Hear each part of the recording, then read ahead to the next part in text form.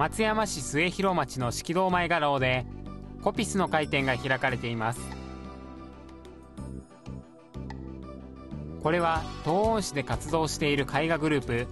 コピスの会の作品展で毎年この時期に開かれています。コピスとは雑木林という意味でこのグループでは一人一人が個性を生かして描くことをモットーに活動しています。この作品展では人物画や風景画静止画などコピスの会水彩コースの11人が描いた水彩画29点を展示しています。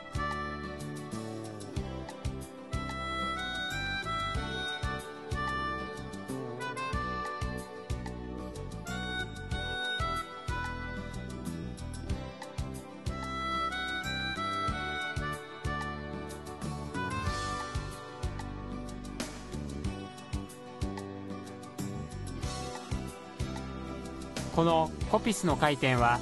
12日まで式堂前画廊で開かれています。